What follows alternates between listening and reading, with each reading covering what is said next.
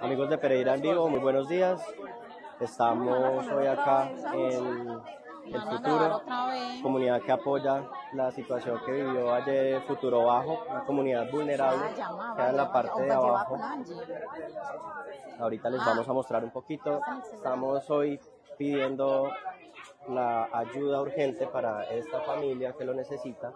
Ellos habitaban Futuro Bajo, tienen una chiquitina de 11 años, Manuela, que sufre una discapacidad total con movimientos involuntarios, tiene una sonda por la cual la deben alimentar, es un tema costoso, perdieron ayer todo, lo único que pudieron pues salvar sus propias vidas, aquí estamos con Daisy, la mamita de Manuela. Daisy, más o menos a qué hora empezó la conflagración y qué hicieron en ese momento? Eh, más o menos comenzó por ahí a las cuatro pasaditas de la mañana. Eh, nosotros pues eh, nos despertamos y lo que pudimos pues eh, ver fue que estaba prendido pues una casa y no alcanzamos a sacar nada. Yo nada más pude sacar a mi hija y de resto todo se, todo se quemó, la casa, todo, todo lo que teníamos.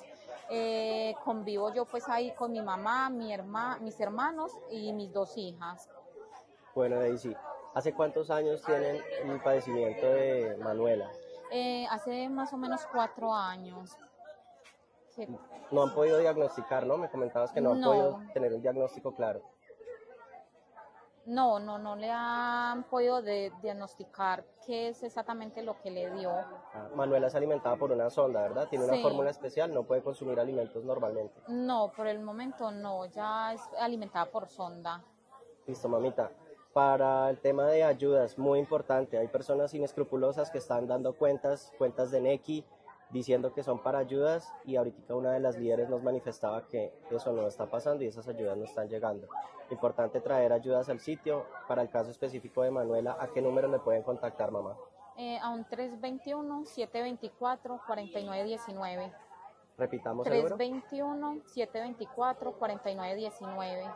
Listo. El tema de las fórmulas, como les digo, es un tema costoso. Vamos a ver ahorita el sitio, lo que pasó ayer con unos compañeros, eh, un compañero de grupo Harley Davidson Eje Cafetero, que es pues con quien yo he tratado de conseguir ayudas y hemos apoyado a esta comunidad, conseguimos esta silla de ruedas porque en el momento ni siquiera pudieron salvar la silla de ruedas de Manuela. Esto es, esperamos una medida provisional, la idea es que nos vinculemos y podamos prestar pues un mejor apoyo a todas las entidades y organizaciones no gubernamentales que también se encarguen de este tipo de casos. Les hacemos el llamado y les damos las gracias de antemano.